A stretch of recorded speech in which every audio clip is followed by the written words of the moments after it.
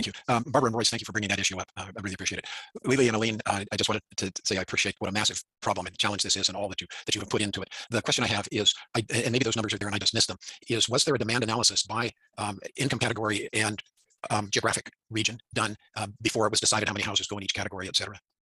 Um, thanks for your question. The number of homes are assigned to us through a complicated process that the Association of Bay Area Governments is responsible for. It starts with the state saying this is what the need for statewide um, for housing is based on job growth, population growth, and a new category of unmet need. And so those are basically the three categories that the state decides this is how many new housing units that we need. And then they give a portion of it to each of the Association of Bay Area Gov- or Association of Governments in our county or in our area. It's the Association of Bay Area Governments. And then that that um, the Bay Area Governments entity decides how it's allocated across each city, county, and town within the Bay Area. And that was a lot of information. But within that, they look at you know there's a, a number of factors that they look at. They look at does your is your community preponderance of high income? And so if so maybe you need to have more lower income. And there's a new part of the housing element that really focuses on those patterns of segregation in our community and making sure that people have access to um, good schools and kind of what they're called high income areas um, high areas of high opportunity that the state calls areas of high opportunity. So those places got more of the affordable housing. So richer whiter suburbs like ours got a higher percentage of affordable housing than some of our other communities